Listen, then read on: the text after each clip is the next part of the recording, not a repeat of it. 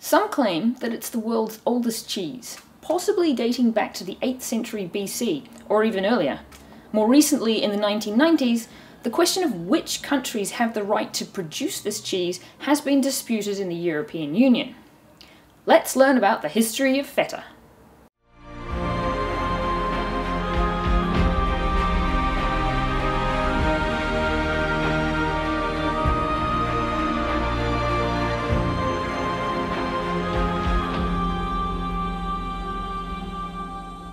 Hey there, cheese historians! I'm Julia, and this is Cheese History, a channel all about the origins, history, and impact of cheese.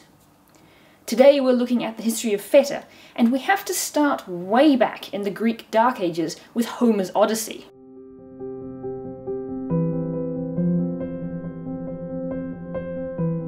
The origins of feta are disputed.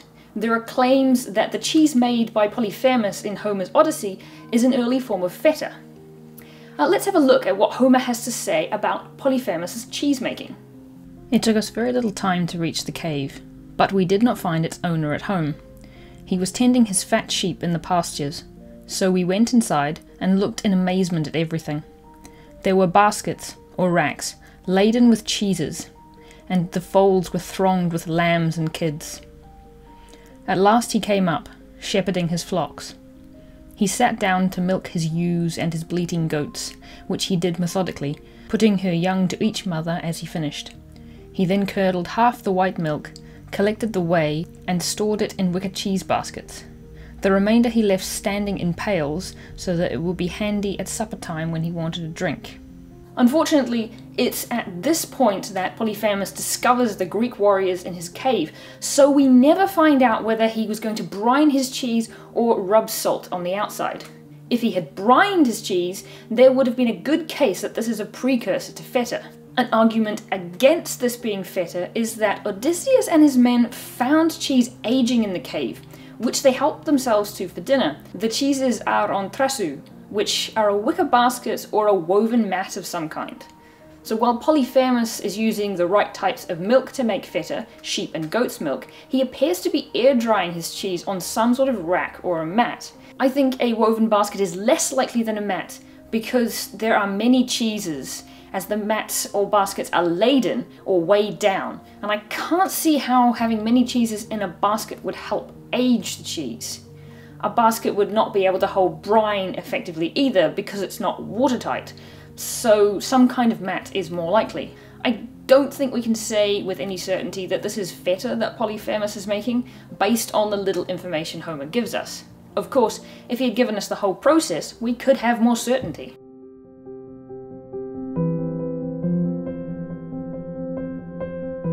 There is a traditional Greek cheese that Alexis Adams suggests could be an ancestor of feta. Touloumotiri is a sheep and goat's milk cheese that is stored and aged in the skins of sheep and goats, which have been salted and tanned. Yes, you heard that right, that's the skin of a sheep or a goat.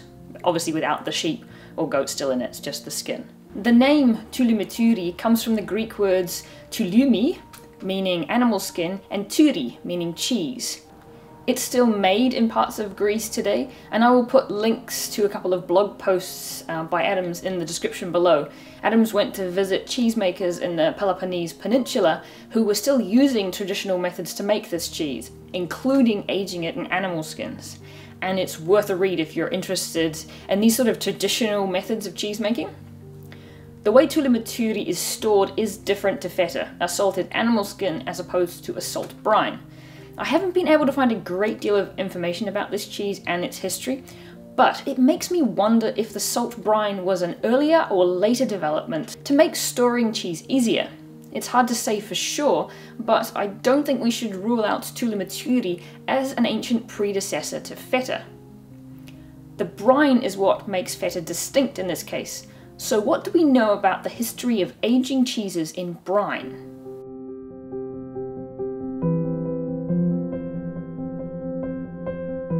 Feta is a very salty cheese because it's stored in brine, which is basically very salty water.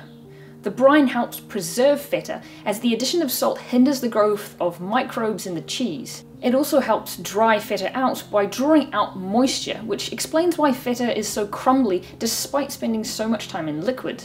Being submerged in brine also prevents airborne molds developing on the surface of the cheese, which can cause it to spoil. Today, feta is often dry salted first, then later stored in brine, or stored covered in salt which is dissolved by the moisture coming out of the feta, which creates a briny liquid. Brine cheeses are mentioned by Cato the Elder in the 2nd century BC in De Agricultura. Recipe for bleaching salt. Break off the neck of a clean amphora, fill with clear water, and place in the sun. Suspend in it a basket filled with common salt and shake and renew from time to time. Do this daily, several times a day, until the salt ceases to dissolve for two days. You can find when it is saturated by this test. Place a small dried fish or an egg in it, and if it floats, you have a brine strong enough to pickle meat or cheese or salted fish. Cato's instructions are for a saturated brine, meaning that as much salt as possible is dissolved in the water cheese, and most other things will float just below the surface of such a brine. So we know that brining cheese happened during Cato's lifetime, and likely had its origins much earlier. This means that something like feta could have been made at this time too. Brining cheese is corroborated by Roman author Columella in the 1st century AD, who mentioned brine in two of his descriptions of how cheese is made. Cheese, which is to be eaten within a few days while still fresh, is prepared with less trouble for it is taken out of the wicker baskets and dipped into salt and brine and then dried a little in the sun. Cheese also, which is hardened in brine and then coloured with the smoke of apple tree wood or stubble, has a not unpleasant flavour. Neither of these is likely to be an early form of feta. The first is a very young cheese that doesn't appear to spend much time in brine, whereas feta is often aged for at least two months and sometimes up to six. The second is smoked, while it's possible to smoke feta, it's not one of its traditional characteristics.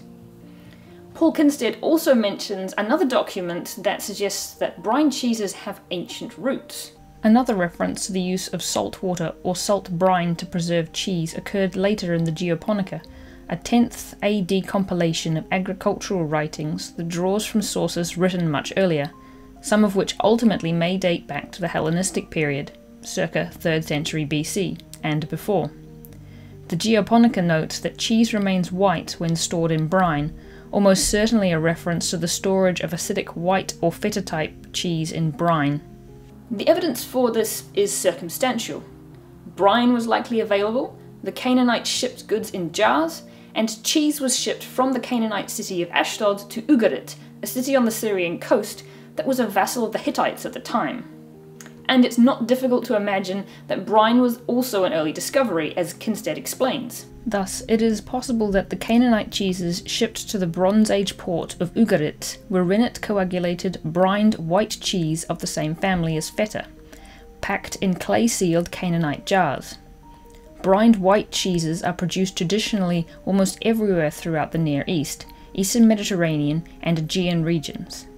They are very simple to make and can withstand the hot, dry Mediterranean summers without spoiling and drying out due to their high salt content, protective brine, and sealed packaging. It is likely that the use of brine for storing and preserving white cheese developed very early in the history of rennet coagulated cheese making. The preservative value of brine must have become evident soon after the practice of dry salting cheese became widespread because uncooked, unpressed, acidic, high moisture white cheese, similar to feta, naturally releases large amounts of salty whey upon dry salting. Thus, salted white cheeses form their own natural brine, especially when stored at warm temperatures. When cheese is packed tightly in a skin bag or ceramic pot, the salty whey accumulates and forms a protective brine bath. Once again, it's impossible to know for sure when feta developed from these early brined cheeses, but it is possible that these early cheeses are feta's ancestors. Let me know in the comments how far back you think the origins of feta go. If the ancient origins of feta are uncertain, when does feta as we know it today appear?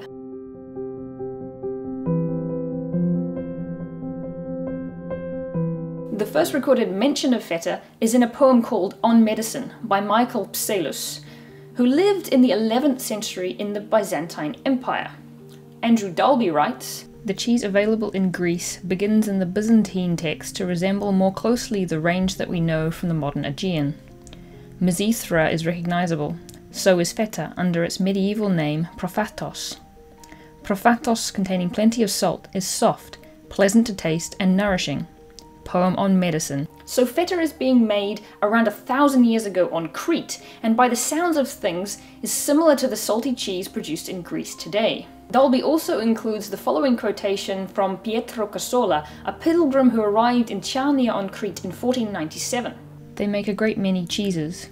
It is a pity they are so salty.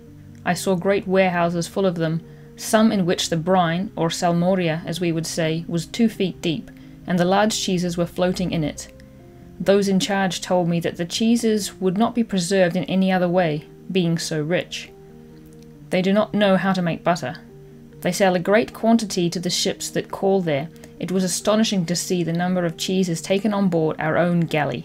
Crete appears to have been something of an epicenter of feta production for about 500 years and was exporting the cheese on ships. Where they were exporting it to, Casola doesn't say. In the 19th century, the Greek word feta became the widespread name of this brine cheese, but it dates back to around the 17th century. It is said to come from the Italian word feta, or slice, and likely refers to the practice of slicing the cheese in order to pack it into barrels. So the name feta is quite recent, but as we have seen, there is evidence that suggests that the cheese itself could have a history several thousand years old, possibly dating back to the Canaanites. At the very least, it dates back 1,000 years when it was made on Crete. Feta's possible ancient origins have led to conflict in the European Union over who has the right to make feta.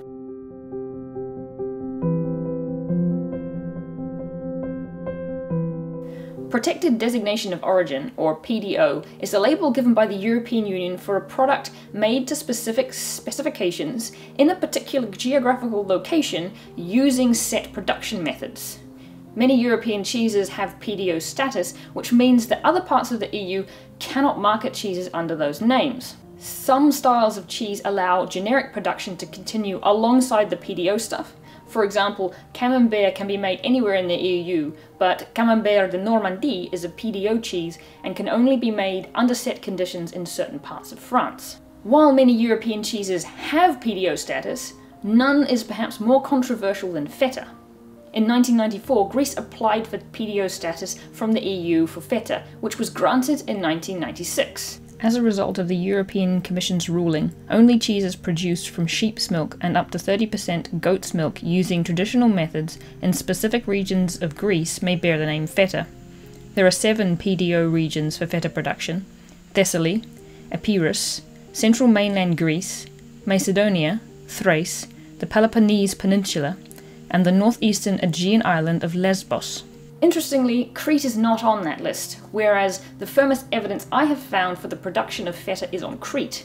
Gaining PDO status meant that within the EU, for a cheese to be called feta, it had to meet all of these standards, being made with sheep's and up to 30% goat's milk, using traditional methods in certain regions of Greece.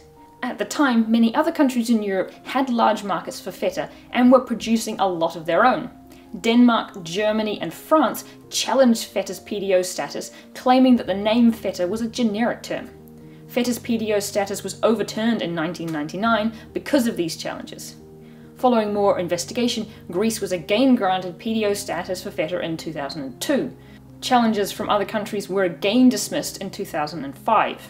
Countries outside the EU tend to pay little attention to these rulings, making feta from any kind of milk, including cow, goat, sheep, and even water buffalo milk, and marketing it as feta.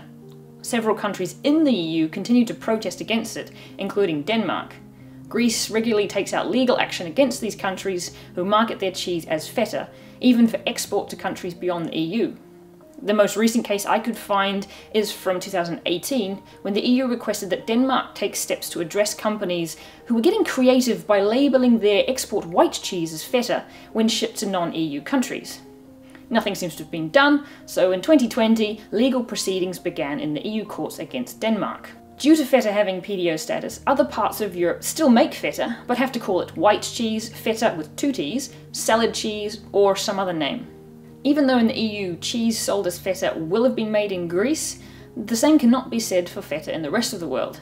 So if you want to ensure you are getting Greek feta, unless you live in the EU, you may want to check the country of origin before you buy.